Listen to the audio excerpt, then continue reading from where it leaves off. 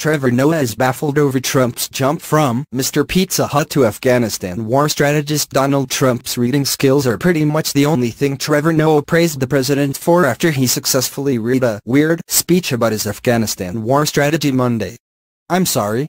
Look, I know that he's been president for seven months, but seeing Donald Trump making military decisions is still weird for me, Noah said in his monologue Tuesday. I mean, he must be the first human being in history who gets to command an army after starring in a Pizza Hut commercial. Although The Daily Show host still thinks it's strange, he doesn't want to prejudge Mr. Pizza Hut on such matters because he is still unclear on the president's plan once the troops are stationed in the battlefield. Trump's actual strategy is like his position on Nazis, Noah said. It's unclear.